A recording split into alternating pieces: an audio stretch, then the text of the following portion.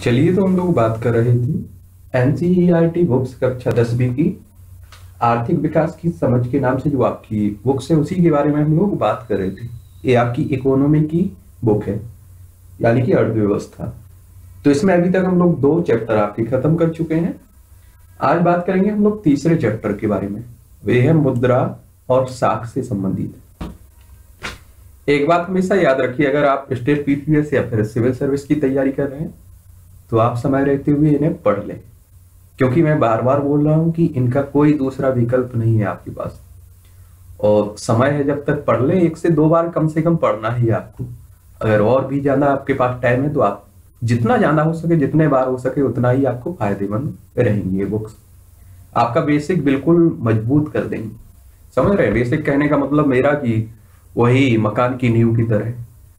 आपने देखा होगा कि जितनी नींव जो भरी जाती है वो, जितनी मज़बूत होगी, उतने ही हिसाब से वो मकान मज़बूत होगा। वैसे तो आपको कक्षा छठवीं से बारहवीं तक की पढ़नी है। अगर टाइम नहीं है आपके पास तो नौ से बारह तो पढ़ना ही है आपको। और जो भी आपके लिए ज़रूरी है, वो सभी टेलीग्राम पर डाल दी गई है। वहाँ से डाउनलोड कर लीजिए। वही वही डाली गई है जो आपकी सिविल सर्विस के लिए ज़रूरी है। ठीक है? इसलिए परेशान भी आपको नहीं होना पड़ेगा।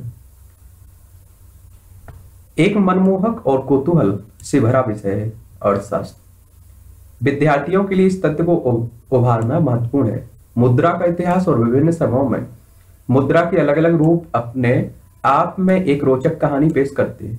इस स्तर पर उद्देश्य यह है कि विद्यार्थी समझें और परखें कि किन सामाजिक परिस्थितियों में मुद्रा के कौन से रूप प्रयुक्त होते थे।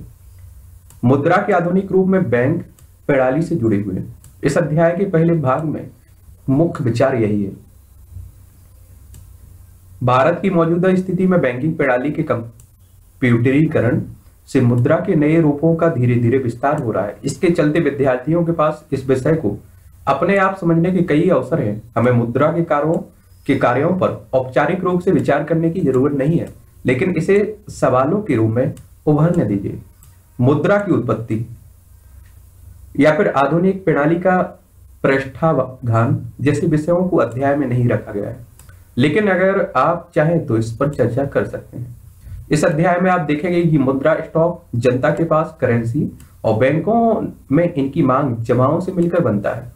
यह वह मुद्रा है, जिसका लोग अपनी इच्छा अनुसार उपयोग कर सकते हैं और सरकार को यह सुनिश्चित करना होता है कि मुद्रा प्रणाली सरलता पूर्वक काम करे। क्या होगा यदि सरकार यह घोषणा कर दे कि लोगों द्वारा उपयोग में लाए जा रहे कुछ करेंसी नोट नई करेंसी से बदले जाने के लिए अमान्य हो जाएँगे। भारत में आपने देखा था कि नवंबर 2016 में 500 और 1000 रुपए के करेंसी नोटों का, को अमान्य घोषित कर दिया गया था। लोगों ने कहा कि, लोगों से कहा गया कि वे इन नोटों को एक निश्चित अवधि तक बैंक में जमा कर दें और बदले में 500 और 2000 रुपए के नए नोट प्राप्त कर लें आप सोचिए कि इसकी जगह अगर सरकार सरकार बोल देती कि कोई नहीं नोट बदले में कुछ भी नहीं मिलेगा आपको। तो आपके ऊपर क्या बीतती? आपका भरोसा ही उठ जाता है नोटों पर।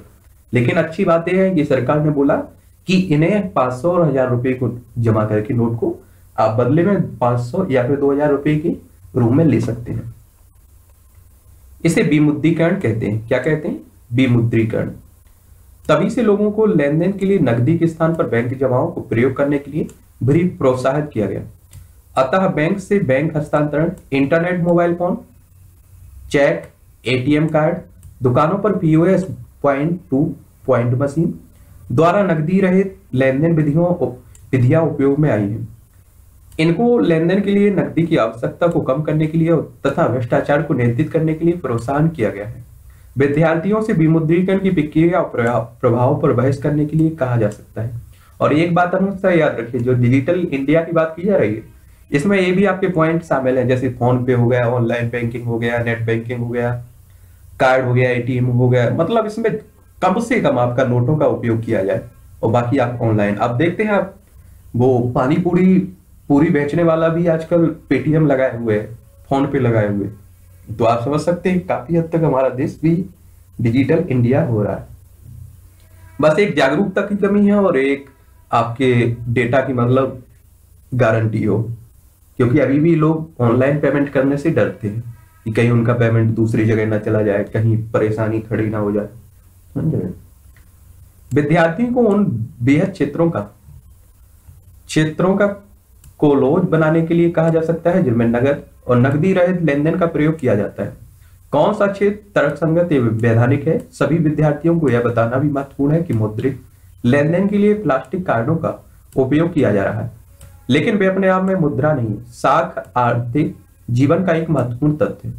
इसलिए इसे अवधारणात्मक स्तर पर समझना ज़रूरी है। अध्याय के दूसरे भाग में इस पर नज़र डाली गई कि किसी भी साख व्यवस्था में किन पहलुओं को देखा जाता है तथा इन, इसका लोगों पर क्या असर पड़ता है।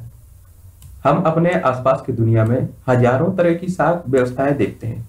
इसलिए अच्छा होगा कि अगर विद्यार्थियों के परिवेश से जुड़ी साख व्यवस्थाओं के ज़रिए उन्हें इसके विभिन्न पहलुओं में से अवगत कराया जाए। साख से जुड़ा एक अन्य महत्वपूर्ण मुद्दा है मुद्दा है कि यह सभी को, सभी के लिए उपलब्ध हो, खासतौर पर से गरीबों के लिए और यथोचित शर्तों पर। हमें इस बात पर ज़ोर देना होगा कि लोग, यह लोगों के अधिकार और इसके बिना इस वर्ग का बड़ा हिस्सा विकास प्रक्रिया से बाहर रह जाएगा। बहुत से नवीन प्रयास, जैसे कि ग्रामीण बैंकों के हस्तक्षेप से विद्यार्थियों को अवगत कराया जा सकता है। लेकिन यह समझना ज़रूरी है कि हमारे पास सभी सवालों के जवाब नहीं है। हमें नए तरीके ढूँढने की आवश्यकता है और यह विकासशील देशों के सामने सामाजिक चुनौतियों में से एक है। याद रखिए, इसलिए ये बता रहा हूँ, कोई ज़रूरी नहीं था, लेकिन हम लोग आगे पढ़ेंगे क्या क्या उसी का एक ओवरव्यू दिया गया है और जानकारी की आपको लिए बता दूँ कि इसमें जो आंकड़े लिए गए हैं, वो इसी से संबंधित जैसे इस अध्याय में औपचारिक अनौपचारिक क्षेत्र के साथ संबंधी आंकड़े। राष्ट्रीय पीति दर सर्वेक्षण संगठन द्वारा ग्रामीण कर्जों की पर किए गए सर्वेक्षण के लिए इस तरह से ये आंकड़े इस किताब में लिए गए हैं, ठीक है? यहाँ से आपकी बुक्स में मेन बुक्स यहाँ है। वो तो आप समझ रहे हैं, क्योंकि आप जब भी बुक्स पढ़ेंगे तो आप किसी आपको कोई टीचर तो एनसीईआरटी पढ़ाएगा नहीं। आप अगर सिविल सर्विस की कोचिंग भी कर रहे होंगे, तब भी आपको देखा हुआ कि एनसीईआरटी नहीं पढ़ाई जाती। वहाँ वो आप अपनी जो उनकी मेन बुक्स होती हैं टेक्स्ट बुक लिख देते हैं उन्हीं को समझाते हैं वो लोग। तो आपको यहाँ इन्हें भी पढ़ लेना है। मुद्रा विनिमय का एक माध्यम। मुद्रा का इस्तेमाल हमारे रोज़ाना के जीवन का एक बहुत बड़ा हिस्सा है। अपने चारों तरफ़ देखिए, आप किसी एक दिन में मुद्रा से जुड़े कई सौदों के पहचान कर सकते हैं। क्या आप इनकी एक सूची बना सकते हैं? बस दिमाग में याद रखिए, इस तरह की जो भी काम करने के लिए बोला जाए, बस अपने दिमाग में कर लिया करिएगा। आपको प्रैक्टिकल करते हुए नहीं बैठ जाना है। आप जानते हैं कि हज़ारों वस्तुएँ आप खरीदते हैं। दिन में कोई ना कोई आपको वस्तु ज़रूरत पड़ती रहती है। उसमें आप लोग मुद्रा तो देते हैं ना। उन्हीं की सूची बना सकते हैं। दिमाग में बस इतना प्रेशर नहीं डालना है। बहुत अच्छे से पढ़ के निकलते जाइए। ठीक है? क्योंकि आप समझिए कि अगर इस तरह के प्रैक्टिकल बनाते बैठे रहे आप लोग करते तो कई दिनों में यही बुक्स खत्म हो गई बहुत से लेन देन में आप देखेंगे कि मुद्रा के ज़रिए वस्तुएँ खरीदी और बेची जा रही हैं। ऐसे कुल लेन देन में मुद्रा के बदले सेवाएँ प्रदान की जा रही है। लेकिन कुछ मामलों में हो सकता है कि लेन देन होते वक्त मुद्रा का उपयोग आदान प्रदान ना हो केवल बाद में भुगतान करने का वादा हो। क्या आपने कभी सोचा है कि खरीदारी मुद्रा के ज़रिए क्यों होती है? कारण बहुत सरल है। जिस व्यक्ति के पास मुद्रा यानी कि पैसा है वह इसका विनिमय किसी भी वस्तु या सेवा खरीदने के लिए आसानी से कर सकता है। इसलिए हर मुद, कोई मुद्रा के रूप में भुगतान लेना पसंद करता है। फिर उस मुद्रा का इस्तेमाल कर, अपनी जरूरतों की चीज़ें खरीदने के लिए करता है। एक जूता निर्माता का उदाहरण देखते हैं। वह बाज़ार में जूता बेचकर गेहूँ खरीदना चाहता है। जूता बनाने वाला पहले जूते के बदले मुद्रा प्राप्त करेगा और फिर इस मुद्रा का इस्तेमाल गेहूँ खरीदने के लिए करेगा। एक बात आप लोगों को बता दें कि पहले क्या हुआ तक करता था कि आपके प्राचीन भारत से ही ले लीजिए आप लोग, कि पहले वस्तु एक वस्तु के बदले दूसरी वस्तु विनिमय प्रणाली चला करती थी। कहने का मतलब ये है कि आपके पास गेहूँ है तो आपको दूसरी चीज़ लेनी है, जैसे नमक लेना है तो आप दुकान पर जाएँगे, गेहूँ दे देंगे और उससे नमक ले लेंगे बदले में। एक प्रक्रिया आपने देखी होगी, गाँव की तरफ़ जब मटके की ज़रूरत पड़ती है इस तरह के कुछ सामानों की तो आपने देखा होगा कि आप फ़सल उगती है, फ़सल दे देते हैं उसे कुछ हिस्सा, और उससे बदले में उस घड़ा, बड़ा, जो भी ज़रूरत होती है, उन्हें ले लेते हैं आप लोग। कभी बार आपने सेवफल, अनार इस तरह के भी देखे होंगे, लेते हुए। तो ये वही प्रक्रिया है। समझ रहे? फिर उसके बाद आपकी समझ में आना चाहिए कि आपने देखा है कोई वस्तु महँगी है, कोई सस्ती है, इस तरह से एक अच्छा आप कह सकते हैं क्रमागत जो भी मतलब व्यवस्था नहीं हो पा रही थी कि अब देश में हमारे पूरा भारत, आप समझ सकते हैं जम्मू कश्मीर से तमिलनाडु, कन्याकुमारी और ऊपर से ना इस तरफ़ से आप ले सकते हैं गुजरात से अरुणाचल प्रदेश तक। इतना फैला हुआ है। अब हमें एक कॉमन करेंसी की ज़रूरत थी। यानी कि सब जगह अगर कोई आप सोचिए कि तमिलनाडु से आ रहा है दिल्ली घूमने या फिर कहीं भी आ रहा है आगरा उत्तर प्रदेश कहीं भी तो उसे एक करेंसी तो होनी चाहिए जो उसका यूज़ कर सकता है। तो हमने एक कॉमन करेंसी बना ली है। और इस पर देखा होगा आपने कि आरबीआई के गवर्नर के हस्ताक्षर रहते हैं वो आपको गारंटी देते हैं। अगर आपको 2000 का जो नोट, नोट आया हुआ है इस पर भरोसा नहीं है तो आप बैंक जाकर कह सकते हैं कि हमें भरोसा नहीं है। आपको उसके बदले या तो हार्ड करेंसी कोई दे देगा या आपको फिर उसके बदले उतना सोना दे दिया जाएगा। ठीक है करेंसी के रूप में। ऐसा है। जरा सोचिए कि जूता निर्माता यदि बिना मुद्रा के इस्तेमाल किए जूते का सीधी गेहूँ से विनिमय करता तो उसे कितनी कठिनाई होती? उसे गेहूँ उगाने वाले ऐसे किसान को खोजना पड़ता, जो न केवल गेहूँ बेचना चाहता हो, बल्कि साथ में जूते भी खरीदना चाहता हो। अर्थात दोनों पक्ष एक दूसरे से चीज़ें खरीदने और बेचने पर सहमति रखते हैं। इसे आवश्यकताओं का दोहरा सहयोग कहा जाता है। एक व्यक्ति जो वस्तु बेचने की इच्छा रखता है, वही वस्तु दूसरा व्यक्ति खरीदने की भी इच्छा रखता हो। वस्तु विनिमय प्रणाली में जहाँ मुद्रा का उपयोग किए बिना वस्तुओं का विनिमय होता है, वहाँ आवश्यकताओं का दोहरा सहयोग होना अनिवार्य विशिष्टता है इसकी।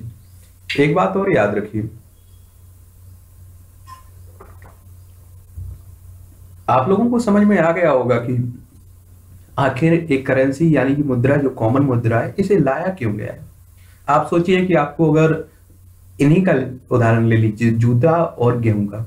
अगर आप सोचिए कि आपका मतलब दोनों में तय नहीं होता है, कुछ ऊँचे, ऊँचा नीचा होता है, कोई कहता है कि हम इतना लेंगे इतना तो आप दूसरे के पास जा भी नहीं सकते कि फिर आपको दूसरा देखने पड़ा, देखना पड़ेगा पड़ेगा, या तो गेहूँ वाला या जूता वाला। लेकिन आपके पास मुद्रा होगी तो आप क्या करेंगे कि दूसरे के पास, तीसरे के पास जिसके पास आपका मतलब अच्छे से सौदा हो जाता है, उससे खरीद सकते हैं। एक समझ सकते हैं आप लोग कि अगर आपके पास ना होती मुद्रा करेंसी ना होती, यानी कि नोट ना होते तो आप किसी एक दुकानदार के पास जो सौदा होती, उसी से खरीद पाते। समझ रहे हैं? दूसरा पता है, मालूम चला कि उससे भी कम ले रहा है तो आप एक शहर से दूसरे शहर भी जाकर आप ले सकते हैं। आपको एक से पसंद नहीं है, दूसरे के पास, तीसरे के पास, चौथे के पास आप जा सकते हैं। ये आपकी सुविधा हुई है।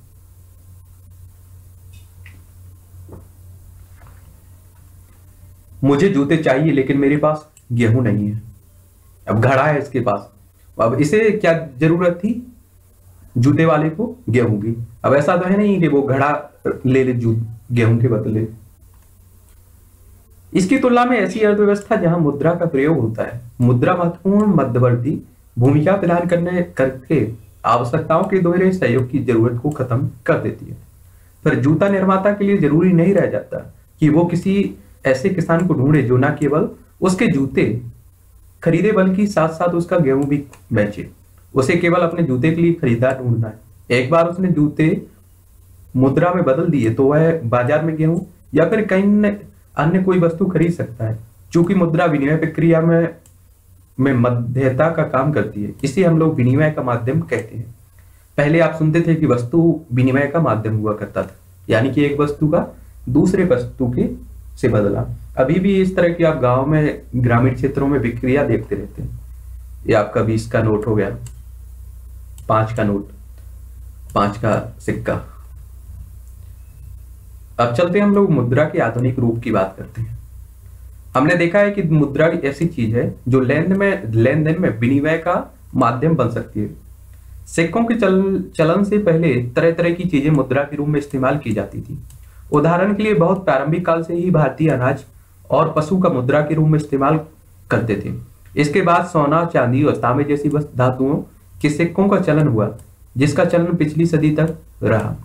ये आप देख रहे होंगे प्रारंभिक आहट सिक्के, लगभग आपके 2500 वर्ष पुराने हैं। ये आपके गुप्तकालीन सिक्के, एक तुगलक तुगलक के समय के सिक्के। ये आप देख रहे हैं अकबर। ये अकबर कालीन सोने की मोहर है। ये आपका आधुनिक सिक्का। एक रुपए का देखते रहते हैं आप लोग इसी, यही है। करेंसी मुद्रा के भी आधुनिक रूपों में करेंसी कागज़ के नोट और सिक्के शामिल हैं आपके। वे चीज़ें जो पहले मुद्रा के रूप में प्रयोग की जाती थी, उसके विपरीत आधुनिक मुद्रा बहुमूल्य धातुओं जैसे सोना चांदी और तांबे के बने सिक्कों से नहीं बनी है। अनाज और पशुओं की तरह बेरोजमर्या की चीज़ें भी नहीं है। आधुनिक मुद्रा का इस प्रकार का अपना कोई इस्तेमाल भी नहीं है। आप सोचिए, दिमाग में लाइए कि अगर इस समय एक सिक्का चांदी का बनता होता तो आप सोचिए कि एक वो वैसे उसकी क्रय शक्ति क्या होती? एक रुपए के बराबर। तो लोग क्या करते होते कि उस सिक्के को चांदी में मतलब कन्वर्ट करके कोई यानी कि गहना बना के बाज़ार में बेच देते। तो उन्हें उससे ज़्यादा मतलब फ़ायदा होता। समझ रहे? इसीलिए आपने देखा है कि छोटे छोटे आने लगे हैं आप सिक्के। पहले बहुत, वज़न में भी बहुत ज़्यादा हुआ करते थे और बड़े बड़े सिक्के आते थे।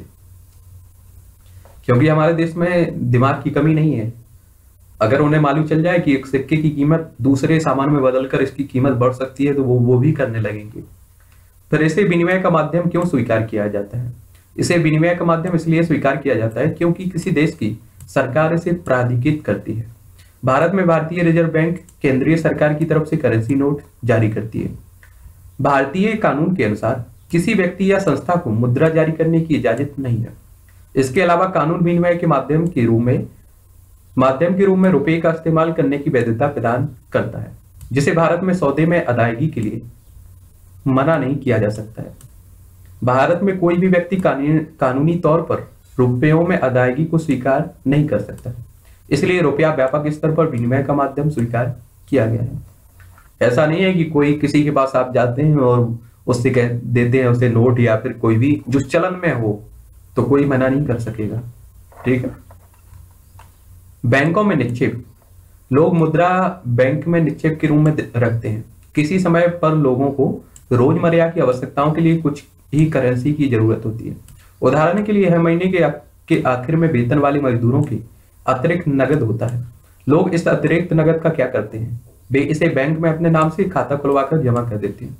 बैंक ये जमा स्वीकार करते हैं और इस पर सूद भी देते हैं। इस तरह लोगों का धन बैंकों के पास सुरक्षित रहता है और इस पर सूद भी मिलता है, यानी कि जो ब्याज में मिलता है। लोगों का, लोगों की अपनी आवश्यकताओं के अनुसार इसमें से धन निकालने की सुविधा भी उपलब्ध होती है क्योंकि बैंक खातों में जमा धन को मांग के ज़रिए निकाला जा सकता है, इसलिए इस जमा को मांग जमा कहते हैं। याद रखिए, जो भी आप लोग बैंकों में जमा करते हैं, उसका क्या करते हैं, वो आप सोचिए कि वहाँ रख के तो आपको ब्याज देंगे नहीं। तो आपने जमा किया, दूसरे को ज़रूरत होगी तो उसे ऋण के रूप में दे देंगे। और जितना आपको ब्याज देते हैं, उससे ज़्यादा उससे ब्याज लेंगे। इससे उनकी भी स्टाफ है जो काम, बैंक का एक रखना, आप समझ सकते हैं, स्टाफ उसमें रखा जाता है। और भी कई तरह की उनमें मरम्मत की बात होती है। पैसे खर्च तो उसके लिए भी आय हो जाती है। ये सौ रुपए का दिख रहा होगा आपको। मांग जमा एक अन्य दिलचस्प सुविधा देता है।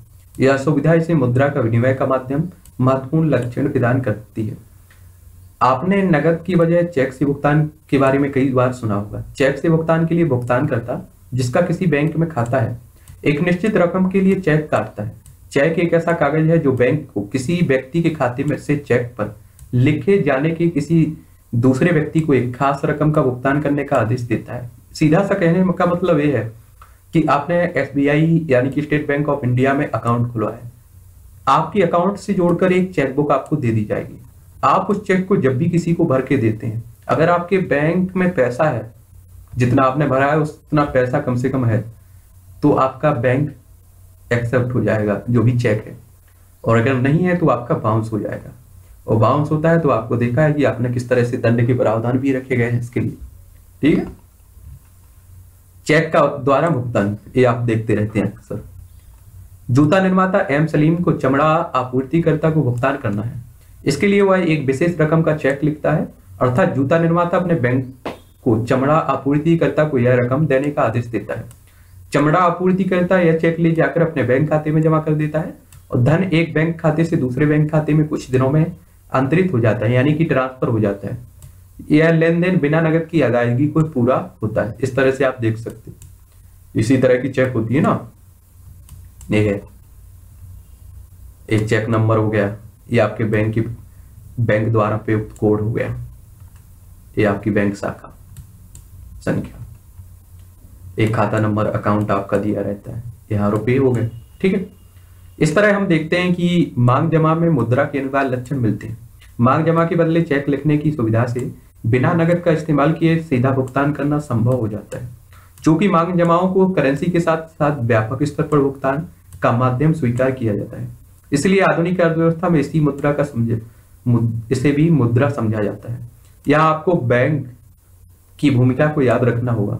बैंकों के इन जमा के बदले कोई भी मांग जमा या भुगतान नहीं होगा।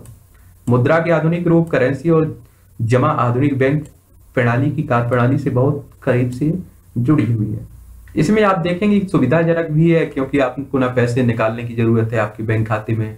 उससे डायरेक्ट उसके खाते में पहुँच जा रहे हैं। या फिर आप समझ सकते हैं कि ऑनलाइन भी कोई आपका सुविधा हो जाए ट्रांसफ़र करने की, तब भी आप बेहतर कर सकते हैं। नेट बैंकिंग हो गया आपका। तो इससे आप घर बैठकर भी काम कर सकते हैं। समझ रहे हैं? ये आपके क्रेडिट कार्ड डेबिट कार्ड अब बात करते हैं बैंकों की ऋण संबंधी गतिविधियाँ। बैंकों की कहानी को आगे बढ़ाते हैं। बैंक जनता से जो धन जमा खातों में स्वीकार करते हैं उसका क्या करते हैं?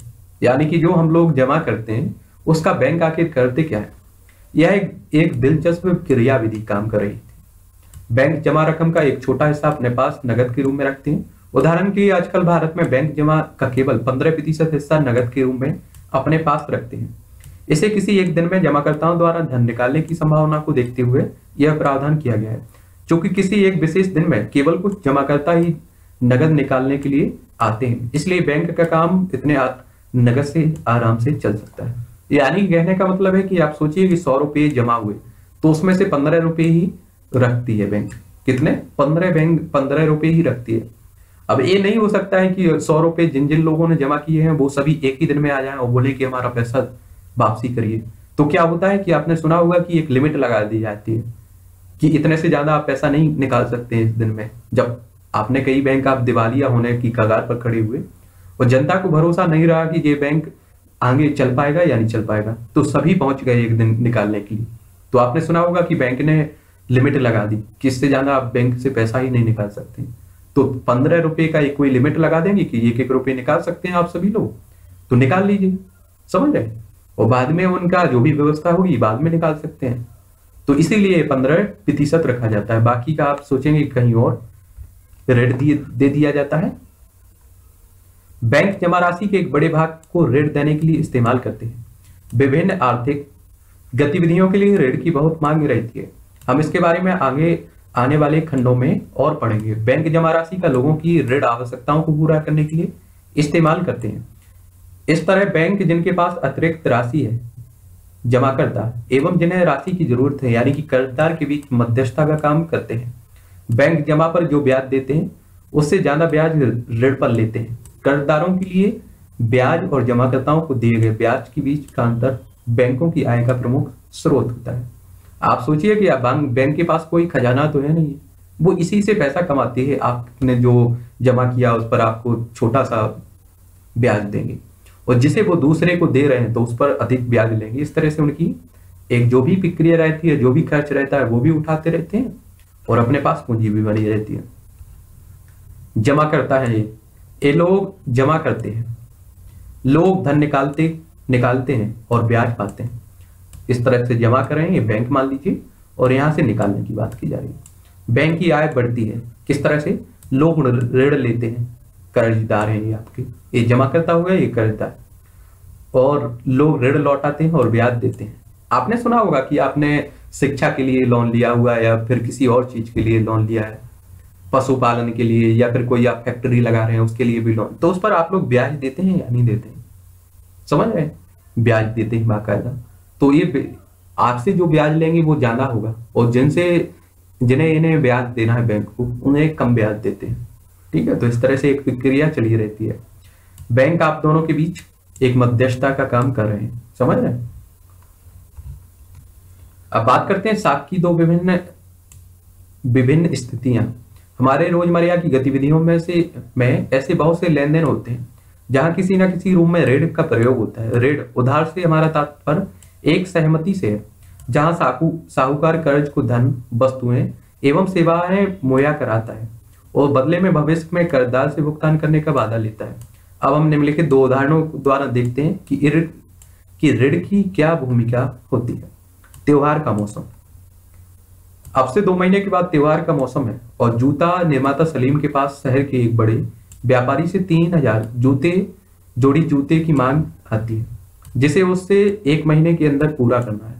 उत्पादन के काम को समय पर पूरा करने के लिए सलीम को सिलाई और चिपकाने के काम के लिए अतिरिक्त मजदूर रखने की आवश्यकता है।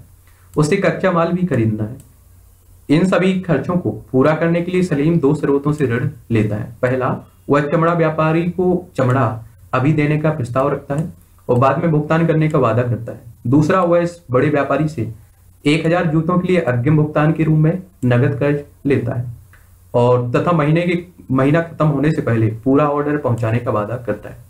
महीने के आखिरी में सलीम जूते पहुँचाने में कामयाब होता है, उसे अच्छा खासा लाभ भी होता है और वह उधार लिए धन की अदायगी भी कर देता है।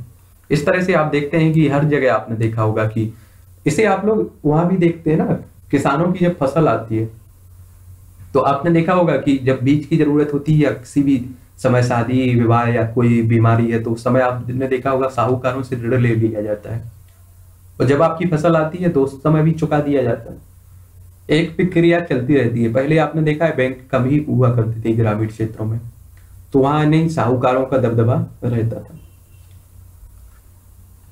सलीम, उत्पादन के लिए कार्यशील पूंजी की ज़रूरत को ऋण के द्वारा पूरा करता है। ऋण उसे उत्पादन के कार्यशील खर्चों तथा उत्पादन को समय को पूरा करने की मदद करता है। वह वह अपनी कमाई बढ़ा पाता है। इस प्रकार ऋण एक महत्वपूर्ण एवं तथा सकारात्मक भूमिका अदा करता है। अब बात करते हैं स्वप्ना की समस्या। एक छोटी किसान स्वप्ना अपनी तीन एकड़ ज़मीन पर मूंगफली उगाती है। वह इस उम्मीद पर कि फ़सल तैयार होने पर कर्ज को अदा कर देगी। खेती के खर्चों के लिए साहूकार से ऋण लेती है। फ़सल पर कीटनाशकों के हमले से फ़सल बर्बाद हो जाती है। हालाँकि स्वप्ना फ़सल पर महँगी कीटनाशक दवाइयाँ छिड़कती है। उससे कोई खास फ़र्क भी नहीं पड़ता है। वह साहूकार का कर्ज लौटाने में असफल रहती है और साल के अंदर यह कर्ज बड़ी रकम बन जाता है। अगले साल स्वप्ना खेती के लिए दोबारा उधार लेती है। इस साल फ़सल सामान्य रहती है, लेकिन इतनी कमाई नहीं होती कि वह अपना कर्ज वापस कर सके। वह कर्ज में फंस जाती है। उस कर्ज को चुकाने के लिए अपनी ज़मीन का कुछ हिस्सा बेचना पड़ता है। इस प्रक्रिया को जो आप लोग देख रहे हैं किसान की प्रक्रिया, ये आप देखते हैं, ज़्यादातर आपने देखा है कि अभी भी चाइना यही प्रक्रिया अपना रहा है। क्या कर रहा है कि आपने देखा होगा कि पाकिस्तान को इतना ऋण दे चुका है कि पाकिस्तान के पास चुकाने के लिए क्षमता नहीं होती। तो क्या करता है कि ऋण का जो ब्याज है, उसका भी भुगतान वो चाइना से लेकर ही करता है। यही प्रक्रिया उसने चाइना ने चीन में अपनाया चाइना ने श्रीलंका में अपनाई। यही प्रक्रिया वो अब नेपाल पर भी थोप रहा है और यही प्रक्रिया वो ईरान पर भी आपने देखा है, कर रहा है। इससे क्या होता है कि आप इतने जाल में फंस जाते हैं ऋण के कि आप चुका नहीं पाते और या तो आप अपनी ज़मीन बेच देंगे या कुछ आपके पास गहना बहना होते थे तो उस समय आप देखते थे कि साहूकारों को हम लोग वो भी बेच देते थे। अगर आप सोचिए टाइम से इनकी फ़सल अच्छी हो जाती तो ये भी अपना अच्छी स्थिति में पहुँच सकती है। लेकिन कहा जाता है ना कि, आपके यहाँ की जो भी फ़सल है, इसे कृषि को मानसून का जुआ कहा जाता है। कहने का मतलब यह है कि अगर फ़सल अच्छी हुई, यानी कि मानसून अच्छा हुआ तो फ़सल अच्छी होगी। मानसून अच्छा नहीं रहा तो फ़सल की स्थिति आप समझ सकते हैं। ग्रामीण क्षेत्रों में साग की मुख्य मांग फ़सल उगाने के लिए होती है। फ़सल उगाने में बीज, खाद, कीटनाशक, दवाओं, पानी, बिजली, उपकरणों की मरम्मत इत्यादि पर काफ़ी खर्च होता है।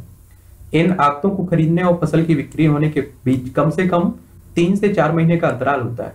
आमतौर पर किसान ऋतु के आरंभ में फ़सल उगाने के लिए उधार लेते हैं और फ़सल तैयार होने के बाद वापस देते हैं। उधारी की अदायगी मुख्यतः फ़सल की कमाई पर निर्भर रहती है समस्या ये नहीं है कि जो उनकी, जो भी ऋण ले रहे हैं, उसकी अदायगी किस तरह से होगी। समस्या यहाँ फंस जाती है कि आप बैंक से जो ऋण लेते हैं, वो बड़ा मतलब ब्याज कम देना पड़ता है उस पर। आप समझिए, और जो साहूकारों से हम ऋण लेते हैं, बिचौलिया, यानी कि आप देखते हैं, सेठ से जो ऋण लेते हैं, उस पर एक बहुत बड़ी रकम ली जाती है ऋण ब्याज के रूप में। तो इसलिए और किसान फंसते चले जाते हैं। स्वप्ना के मामले में फ़सल बर्बाद हो जाने से कर्ज की अदायगी असंभव हो गई है। उसे कर्ज उतारने के लिए अपनी ज़मीन का कुछ हिस्सा बेचना पड़ा। ऋण से स्वप्ना की कमाई को बढ़ाने की बजाय उसकी स्थिति बदतर कर दी। इसे आम भाषा में कर्ज जाल कहा जाता है। क्या कहते हैं? कर्ज जाल। इस मामले में ऋण कर्जदार को ऐसी परिस्थिति में धकेल देता है, जहाँ से बाहर निकलना काफ़ी कष्टदायक है, होता है। और आज से आप अगर 10 साल पहले जाएँगे तो अधिकतर किसानों की यही स्थिति थी। समझ रहे हैं? अब तो आपने देखा है किसान क्रेडिट कार्ड भी बनने लगे हैं तो अब काफ़ी सहूलियत भी मिलने लगी है किसानों को। एक ऐसी स्थिति में ऋण आय बढ़ाने में सहयोग करता है, जिससे व्यक्ति की स्थिति पहले से बेहतर हो जाती है। दूसरी स्थिति में फ़सल बर्बाद होने के कारण ऋण व्यक्ति को अपने जाल में फंसा देता है। सपना को कर्ज उतारने के लिए अपनी ज़मीन का एक हिस्सा बेचना पड़ा। स्पष्ट है कि उसकी स्थिति पहले की तुलना में बदतर हुई है। ऋण उपयोगी होगा या नहीं? यह परिस्थिति की खतरों और हानि होने पर प्राप्त सहयोग की संभावना पर निर्भर करता है। यानी कि फ़सल पर आपका पूरा निर्भरता है कि किस तरह से आप समझ सकते हैं। अब बात करते हैं ऋण की शर्तों की। हर ऋण समझौते में ब्याज दर निश्चित कर दी जाती है, जिसे कर्जदार महाजन को मूल रकम मूल रकम के साथ अदा करता है। इसके अलावा उधारकर्ता को कोई समर्थक ऋण आधार यानी कि गिरवी रखने के लिए, रखने की मांग कर सकता है। यानी कि जो आप सेठ को समझते हैं, अगर आपसे कह देता है कि गिरवी रख दीजिए, या तो आप कोई देखते हैं अपने मतलब आभूषण रख देते हैं अपने घर परिवार महिलाओं की समझ रहे तो यही होता है, अधिकतर गाँव में यही देखा जाता है। या फिर आप पर भरोसा होता है कि आप चुका देंगे तो इसलिए आपको ऋण देता है। समर्थक ऋणाधार ऐसी संपत्ति है, जिसका मालिक कर्जदार है, जिसे जैसे कि भूमि, इमारत, गाड़ी, पशु बैंकों में पूंजी, और इसका इस्तेमाल वह उधारकर्ता को गारंटी देने के रूप में करता है, जब तक कि ऋण का भुगतान नहीं हो जाता है। यदि कर्जदार उधार वापस नहीं कर पाता तो उधारकर्ता उधारदाता को भुगतान प्राप्ति के लिए संपत्ति या समर्थक ऋण आधार बेचने का अधिकार होता है। जैसे संपत्ति जैसे कि ज़मीन, बैंकों में जमा पूंजी पशु इत्यादि समर्थक आधार क्या उदाहरण है, जिनका उपयोग कर्ज लेने के लिए किया जाता है। एक बात और आपने देखा होगा कि पहले क्या हुआ करता था कि बच्चों को भी ये साहूकार ले लेते थे। उनसे भी मतलब बंधुआ मजदूरी करवाते थे। क्या करते थे कि आपके जैसे किसी ने ऋण लिया किसी किसान ने वो नहीं चुका पा रहा है। वो चुकाने की स्थिति में नहीं है तो उसके बच्चों को अपने यहाँ रख लेते थे और काम करवाते थे सेठ। ठीक तो उससे भी वसूली करते रहते थे। ये भी कई जगह आपको देखने को मिलेगा आवास ऋण, यानी कि घर के लिए जो ऋण। मेघा ने घर खरीदने के लिए बैंक से पाँच लाख रुपए का कर्ज दिया। इस कर्ज पर ब्याज की वार्षिक दर बारह प्रतिशत है। इस कर्ज को दस साल में मासिक किस्तों में लौटाया जाना है। मेघा को बैंक से कर्ज लेने से पहले उसे अपनी नौकरी और वेतन संबंधी रिकॉर्ड दिखाने पड़े। पड़ते हैं। बैंक नए घर के सभी कागज़ ऋणाधार के रूप में रख लेता है, जिन्हें मेघा द्वारा ब्याज समेत कर्ज लौटाने पर वापस किया जाता है। जो भी आपने देखा होगा, घर लेते हैं आप लोग तो उसके कागज़ भी एक गारंटी के रूप में रख लिए जाते हैं। जो नौकरी करते हैं, याद रखिए, जिनके पास सरकारी नौकरी होती है, उन्हें कर्ज आसानी से मिल जाता है, आपने देखा होगा, क्योंकि बैंकों को एक भरोसा रहता है।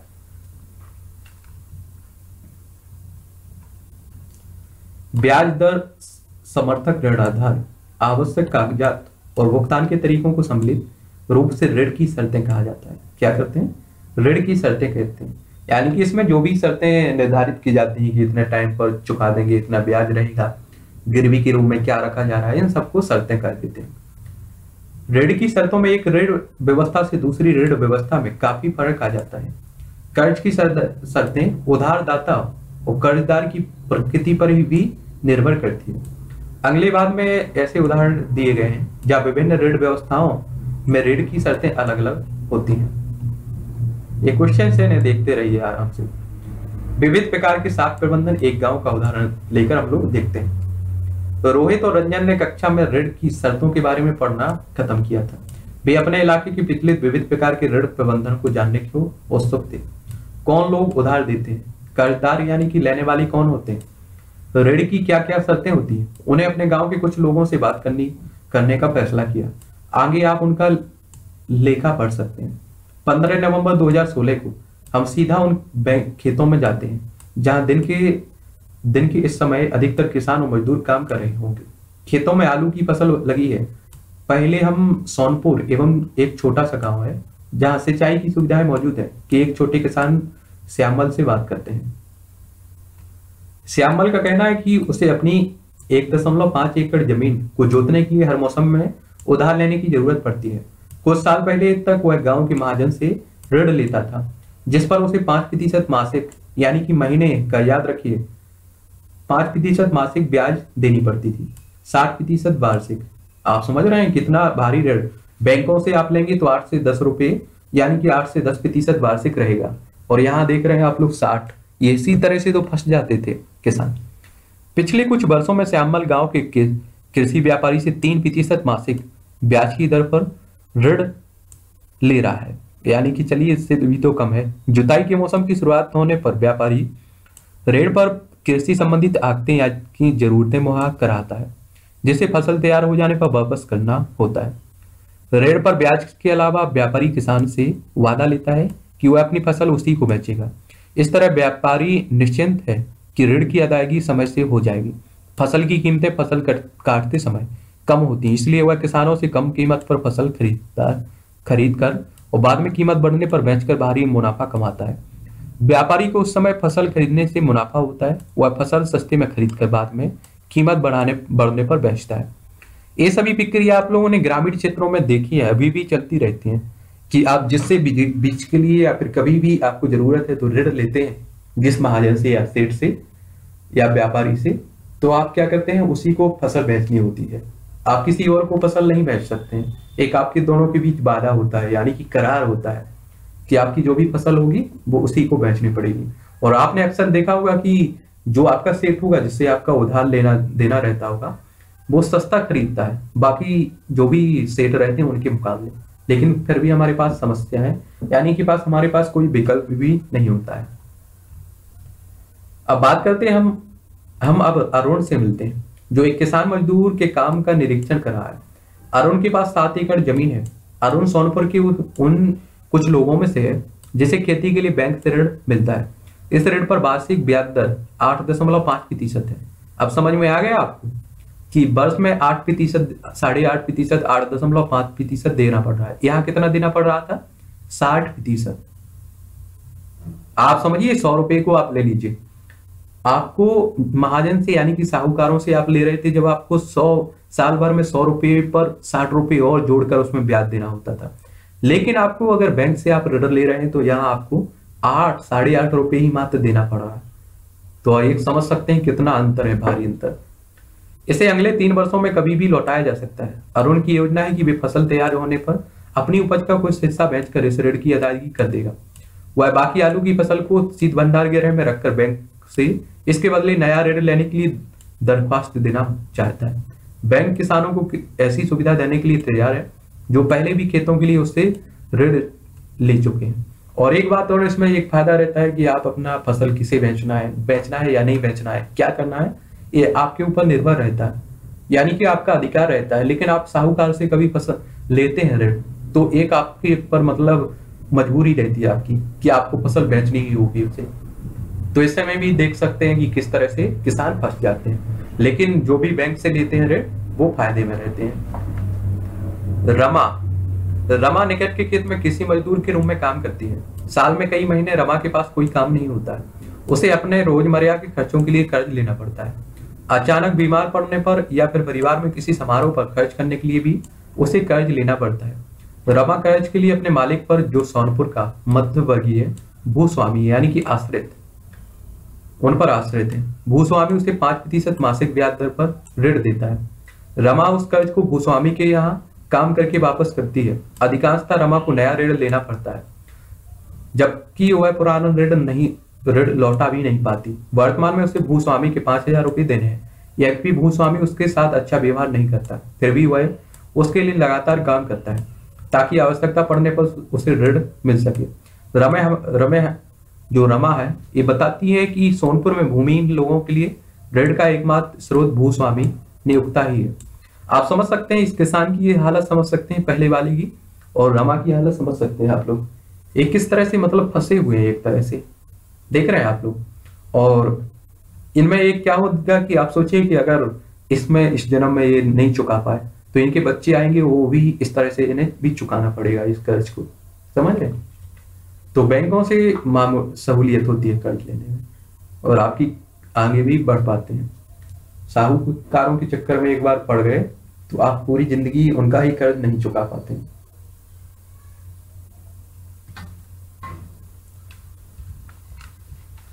अब बात करते हैं सहकारी समितियों से ऋण। इन्होंने भी काफ़ी हद तक अच्छी भूमिका निभाई हुई हमारे देश में।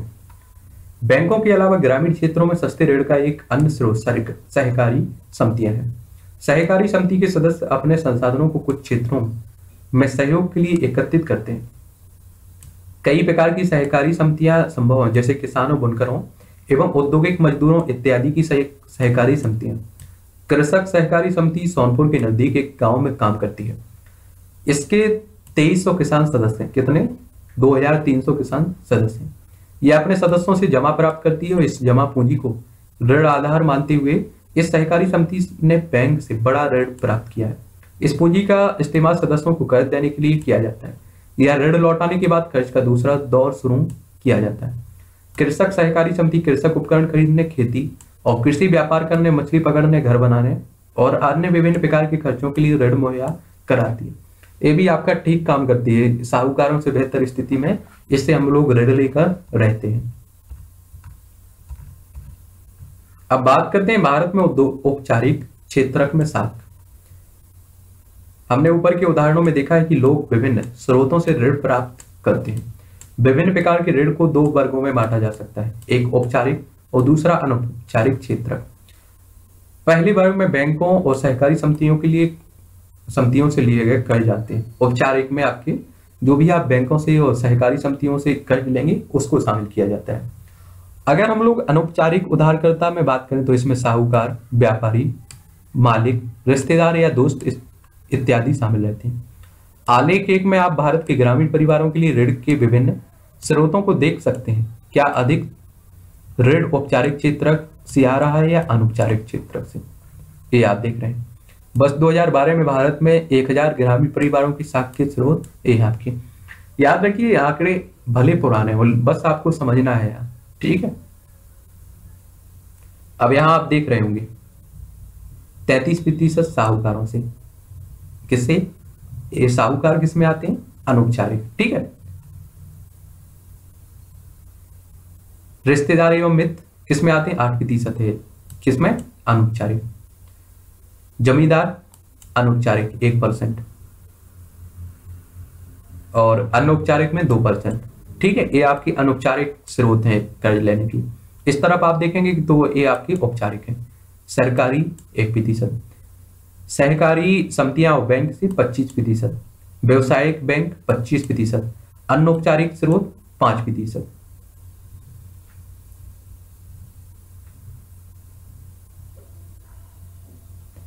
छप्पन प्रतिशत के करीब आपका आ रहा है।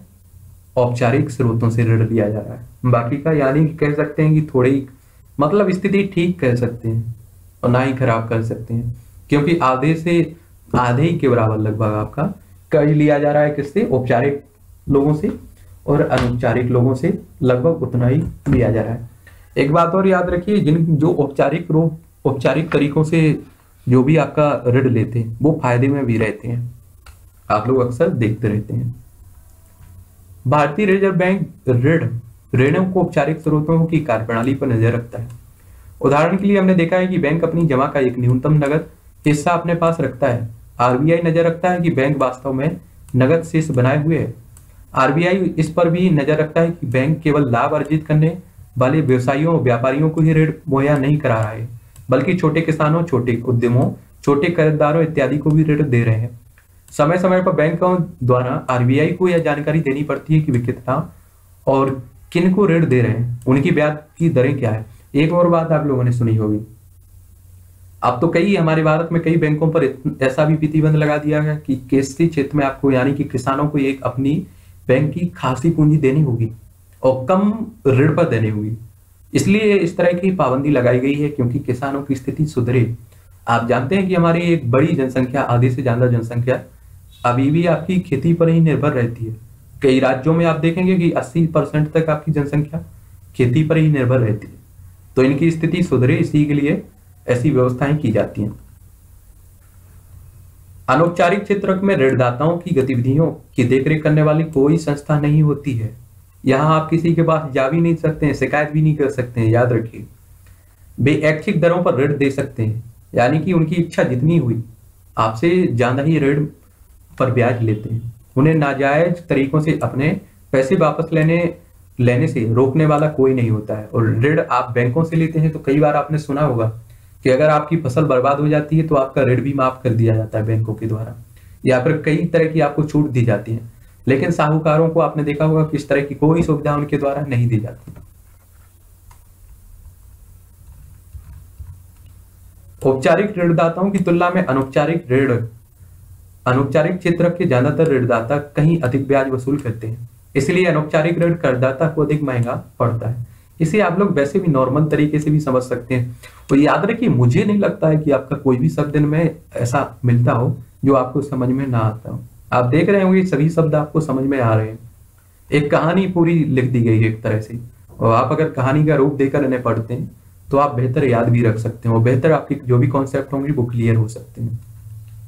तो ऋण की ऊँची लागत का अर्थ है कि कर्जदार के आय का अधिकतर हिस्सा ऋण की अदायगी में ही खर्च हो जाता है। इसलिए कर्जदारों के पास अपने लिए कम आय बचती है। जैसा कि हमने सोनपुर के श्यामल के मामले में देखा है, आप सोचिए उसने अगर सौ रुपये दिया है, लिया है ऋण तो आप सोचिए उसे एक सौ साठ रुपये, यानी कि सौ का ऋण साठ रुपये देना होगा। अगर बैंक से वो लेता है तो आप समझिए कि एक सौ आठ रुपये। और अगर साहूकारों से एक सौ साठ रुपये उसे वापसी करना पड़ेगा। तो बेहतर स्थिति में किसमें होगा आप लोग? जिस अगर बैंक से जो ऋण लेगा। क्योंकि कम से कम आठ ही रुपए तो देने पड़ रहे हैं साल में उसे। कुछ मामलों में ऋण की ऊँची ब्याज दरों के कारण कर्ज वापस करने की रकम कर्जदार की आय से भी अधिक हो जाती है। इसके कारण ऋण का बोझ बढ़ जाता है। जैसा कि हमने सोनपुर की रमा के मामले में देखा है। और व्यक्ति ऋण जाल में फंस जाता है। ऐसा भी संभव है कि लोग कर्ज लेकर अपना उद्यम शुरू करना चाहते हैं। वे ऋण की अधिक लागत को देखकर पीछे हट जाए। आप सोचिए कि 160 आपको किसी के देना है, ठीक है? सौ रुपये लिए थे और एक साल में उसका कर्ज हो जाता है, टोटल आपको एक सौ साठ रुपये वापस करना है। और आपने बैंक से अगर लिए हैं तो यहाँ आपको एक सौ आठ रुपये के करीब, एक सौ आठ रुपये के करीब या नौ रुपये मान लीजिए, एक सौ आठ नौ रुपये आपको देना है, ठीक है? एक सौ आठ आठ रुपये या नौ रुपये देना है। चलिए, इस बार आपकी फ़सल भी खराब हो जाती है, मान लीजिए फ़सल खराब। तो कम से कम आपको याद रखिए, कम से कम साठ रुपये आप समझिए और यहाँ आठ रुपये चलिए दूसरी बार आप ऋण लेकर फिर से चुका देंगे आप लोग। लेकिन यहाँ आप देखिए, अगर आपको 160 देना है, चाहे आपकी फ़सल बर्बाद हो, चाहे कुछ भी हो हो सकता है या बैंक के मामले में मैंने बताया कि आपको यानी कि माफ़ करने का भी ऑप्शन मिल जाए या आपको कुछ छूट दे दी जाए, लेकिन ये किसी भी तरह की हमदर्दी नहीं दिखाते हैं। साहूकार, इन्हें 160 चाहिए मतलब चाहिए। इससे भी हमारे देश के किसानों की हालत बहुत बुरी तरह से प्रभावित रहती है। इन सभी के कारणों को देखते हुए बैंकों और सहकारी समितियों को ज़्यादा कर्ज देना चाहिए। इसलिए जर, इसके ज़रिए लोगों की आय बढ़ सकती है और बहुत से लोग अपनी विभिन्न जरूरतों के लिए सस्ता कर्ज ले सकेंगे। वे फ़सल उगा सकते हैं कोई कारोबार कर सकते हैं छोटे उद्योग इत्यादि लगा सकते हैं वे नया उद्योग लगा सकते हैं या फिर वस्तुओं का व्यापार कर सकते हैं। सस्ता और सामर्थ्य अनुकूल कर्ज देश के विकास के लिए भी अति आवश्यक है। एक बात और याद रखिए, आप सोचिए, अगर हमारे देश के किसानों की हालत अच्छी रही तो आप भी देख सकते हैं कि ये अपना योगदान तो करेंगे, अपने परिवार का भरण पोषण तो अच्छे से करेंगे साथ ही ये अपने देश की विकास में भी सहयोग कर सकते हैं। फ़सल अच्छी होगी तो आप सोचिए कि हम लोग खाद्यान्न के मामले में तो कम से कम आत्मनिर्भर रहेंगे, और हो सकता है कि हम लोग निर्यात भी करें इसका। अब बात करते हैं औपचारिक और अनौपचारिक साथ किसी क्या मिलता है? आलेख दो में शहरी क्षेत्रों में लोगों के लिए ऋण के औपचारिक और अनौपचारिक महत्व को दिखाया गया है। आलेख में गरीब से अमीर लोगों को चार भाग भागों में बांटा गया है। आप देख सकते हैं कि शहरी क्षेत्रों में निर्धन परिवारों की कर्जों की पचासी प्रतिशत जरूरतें अनौपचारिक स्रोतों से पूरी होती है। और इस तुल, की तुलना तुलना आप शहरी इलाकों के अमीर परिवारों से करते हैं। आप क्या देखते हैं उन्हें केवल दस प्रतिशत कर्ज अनौपचारिक तरीके से, जबकि नब्बे प्रतिशत औपचारिक स्रोतों से लेते हैं। इस तरह की तस्वीर ग्रामीण क्षेत्रों में भी अमीर परिवार औपचारिक ऋणदाताओं से सस्ता ऋण ले रहे हैं, जबकि गरीब परिवारों को कर्ज के लिए बहुत सारा पैसा देना पड़ता है। एक बात और आपको यहाँ बताऊँ। आपने देखा हुआ है जितने भी उद्यमी होंगे जो उद्योग धंधे लगाते हैं, वो अधिकतर देखे होंगे आपने कि कर्ज औपचारिक तरीके से लेते हैं। क्या करते हैं? औपचारिक तरीके से ले सकते हैं। आप सोचिए कि कोई बड़ी फैक्ट्री लगा रहा है, उसे एक करोड़ लेना है कर्ज। तो सोचिए आप लोग कि उसे तो ब्याज के रूप में अगर किसी साहूकार से बोल तो एक करोड़ साठ लाख उसे देना होगा। समझ सकते हैं, उतना लाभ नहीं होगा जितना उसे ब्याज देना पड़ जाएगा। तो वो लोग औपचारिक तरीके से ही ब्याज लेते हैं राष्ट्रों से। इस सब, सबसे क्या पता चलता है? पहला औपचारिक स्रोत अभी भी ग्रामीण परिवारों की कुल ऋण जरूरतों का केवल पचास प्रतिशत पूरा कर पाते हैं। बाकी जरूरतें अनौपचारिक स्रोतों से पूरी होती है। अनौपचारिक ऋणदाताओं के लिए से लिए गए उधार पर आमतौर से ब्याज की दरें बहुत अधिक होती हैं। और यह उधारकर्ताओं उधारकर्ताओं की आय बढ़ाने का काम कम ही कर पाते हैं। इसलिए बैंक और सहकारी समितियों को अपनी गतिविधियाँ विशेषकर ग्रामीण इलाकों में बढ़ाने की ज़रूरत है, ताकि कर्जदारों को की अनौपचारिक स्रोतों पर से निर्भरता घटे। और अभी भी आप ग्रामीण क्षेत्रों में से देखते भी हैं कि अधिकतर किसान जो होते हैं वो साहूकारों पर ही निर्भर रहते हैं। दूसरा यदि एक तरफ़ औपचारिक स्रोत के ऋणों का विस्तार होना चाहिए तो दूसरी ओर भी ज़रूरत है कि ऋण सभी लोगों को प्राप्त हो सके। वर्तमान समय में अमीर परिवार ही औपचारिक स्रोतों से ऋण प्राप्त करते हैं, जबकि गरीब परिवारों को अनौपचारिक ऋणों पर, स्रोतों पर ही निर्भर रहना पड़ता है। यह ज़रूरी है कि औपचारिक ऋण का अधिक समान वितरण हो। ताकि गरीब परिवार भी सस्ते ऋण का फ़ायदा उठा सकें। एक और समस्या इसमें देखी जाती है कि आपने देखा होगा कि अगर आप औपचारिक तरीके से अगर लोन लेते हैं, यानी कि ऋण लेते हैं तो आपको बैंक का चक्कर लगाना पड़ता है, या तो वहाँ रिश्वत देनी पड़ती है। इसलिए अधिकतर किसान इसी से डर के किससे ले लेते हैं? साहूकारों से ऋण ले लेते हैं। आप सोचिए कि अगर अधिकतर किसानों को सस्ता मतलब आसानी से ऋण मिलने लगे बैंकों पर, बैंकों से। तो आप समझ सकते हैं वो किस लिए मतलब जाल में फंसेंगे ऋण के। वो तो बैंकों से लेंगे ना। लेकिन बैंकों की स्थिति क्या रहती है, आप समझ सकते हैं। बैंकों के में गरीबों के साथ क्या मतलब व्यवहार किया जाता है तो आप लोग बेहतर तरीके से समझते हैं। आलेख दो को देखिए, शहरी परिवारों द्वारा लिए गए। कुल ऋण का कितना प्रतिशत औपचारिक तथा कितना प्रतिशत अनौपचारिक था? गरीब परिवार। पचासी प्रतिशत अनौपचारिक स्रोत से ऋण की प्रतिशत लेता है गरीब परिवार, और पंद्रह प्रतिशत ये आपका औपचारिक स्रोतों से ऋण लेता है। गरीब परिवार की बात कर रहा हूँ। और इसी, यही कारण है उसका कि गरीब हमेशा गरीबी बना रहता है। और यहाँ कम संपत्ति वाले परिवारों की अगर बात करें तो सैतालीस प्रतिशत आपके औपचारिक तरीके से लेते हैं और तिरपन प्रतिशत यानी कि अनौपचारिक तरीके से।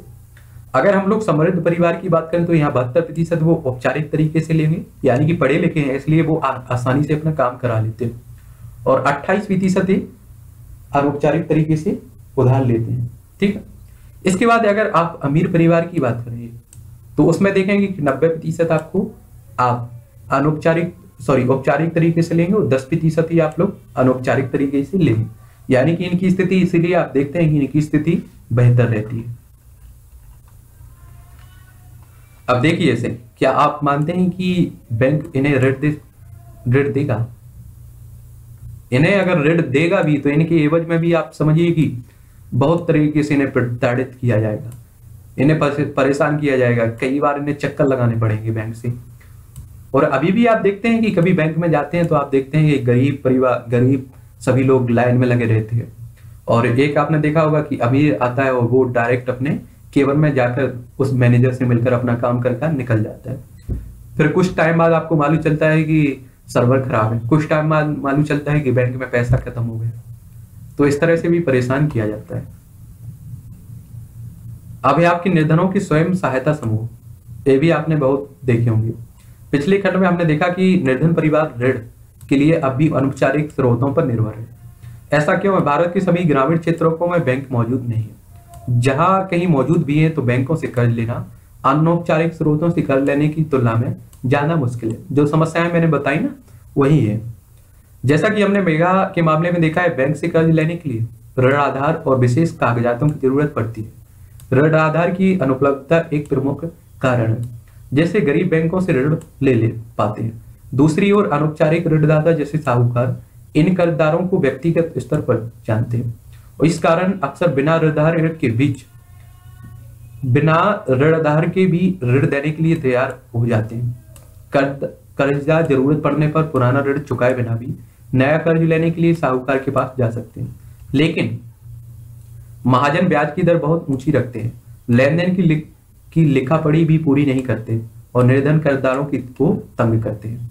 एक बात आप लोगों को यह बता दूँ। ये बात है 2008 2007-8 की बात। मुझे बैंक में अकाउंट खुलवाना था। तो पता है, मेरा अकाउंट नहीं खोला गया। मुझे मतलब कई तरह से कहा गया एक कागज़ चाहिए एक कागज़ चाहिए। और परेशान करके आखिर में मैं हार के बैठ गया। मैंने अकाउंट ही नहीं खुलवाया। उन्हें पता नहीं था मेरे मतलब जो भी मेरा परिवार जो भी बैकग्राउंड था, उन्हें पता नहीं था कि ये किसका बेटा है या किसके रिलेशन में है। बाद में मालूम चला कि जब मुझे ज़रूरत ही पड़ने लगी 2000 के करीब है तो पता है संडे को मेरा अकाउंट खुल गया। मेरे पिताजी गए तो संडे को अकाउंट खुलवा ले गया उन्होंने। और मैं जब किसी का नाम लेकर बिना ऐसे ही भटक रहा था, एक मतलब आप समझ सकते हैं गरीबी की हालत को लेकर। मतलब मैं किसी से सिफारिश नहीं लगवा रहा था।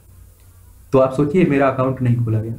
और जब मेरे पिताजी गए, उनकी जो भी चलती है, अलग बात है उनका तो वो गए तो उन्होंने देखा है कि संडे को मैंने सुना है संडे को अकाउंट खोल के अकाउंट नंबर मिल गया मेरा, जो उस बैंक का मैनेजर था, उसके घर गए, उसने खुलवाया, उसी दिन मुझे ज़रूरत थी, उसी दिन मिल गया मेरा अकाउंट नंबर तो आप समझ सकते हैं गरीबों के साथ में देखा है मैंने, बहुत नज़दीक से किस तरह से भेदभाव किया जाता है।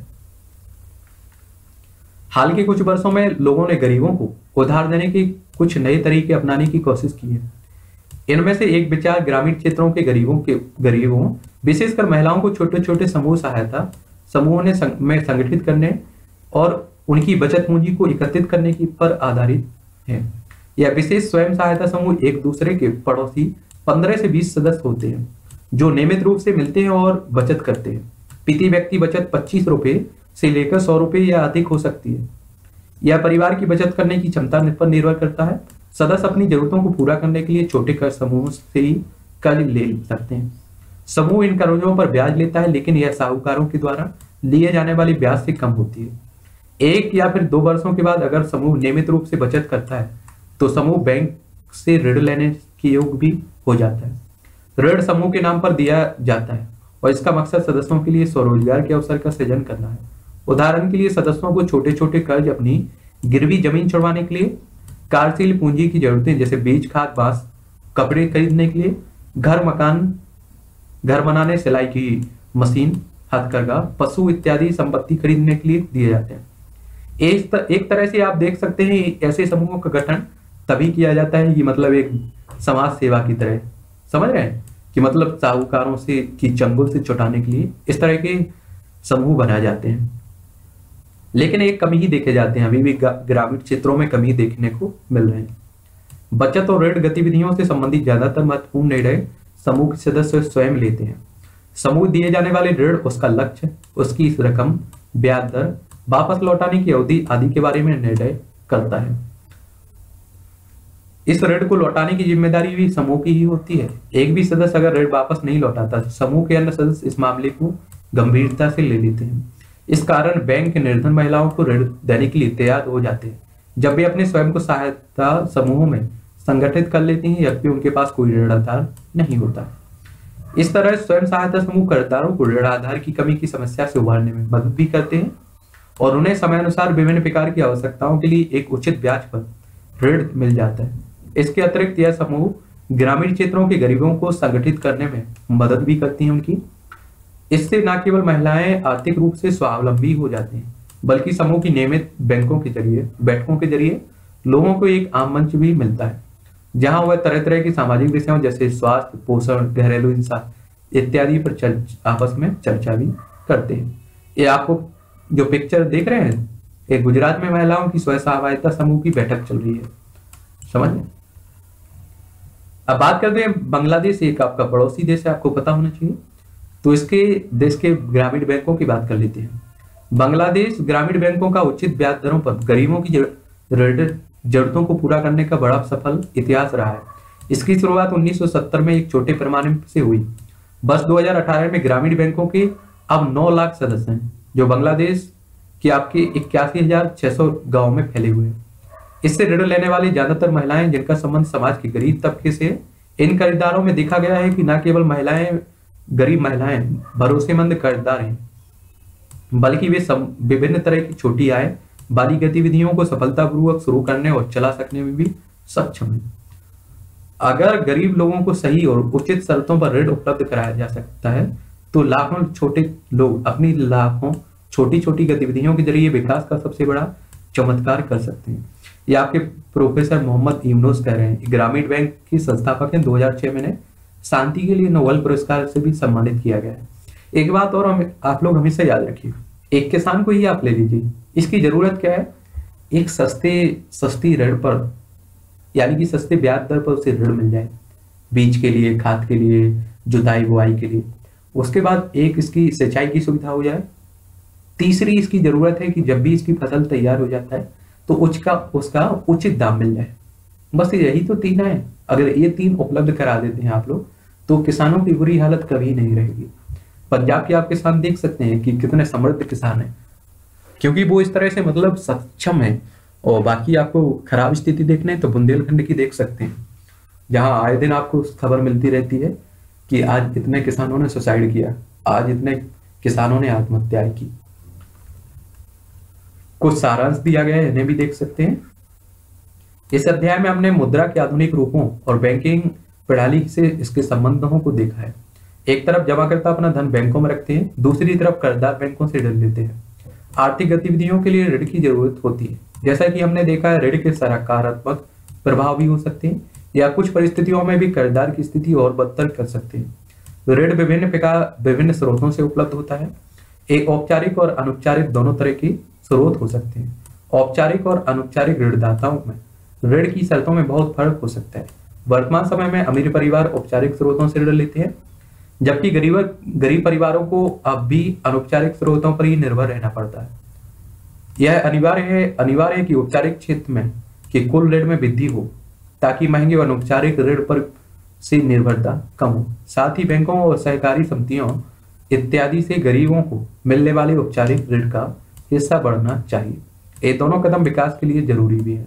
आप सोचिए कि आप अगर लाखों रुपए की योजना लाते हैं किसानों को, कर्ज माफ़ी का काम करते हैं आप लोग जब भी चुनाव होता है, ये सब ना करके आप लोग उन्हें सस्ता ऋण सब करवाने की, उपलब्ध करवाने की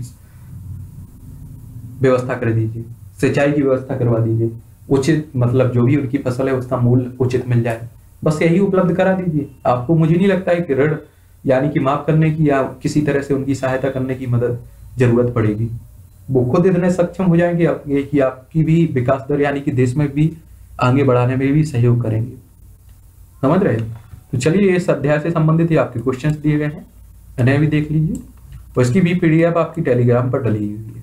वहाँ से डाउनलोड करके दो से तीन बार और जितने बार हो सके। मैं तो कहता हूँ, जितना टाइम मिले, पढ़ते रहिए। क्योंकि ये कहानी है, बड़ा मज़ा आता है। अच्छा। मालूम ही नहीं चलता है कि इतने टाइम में खत्म हो चुकी है।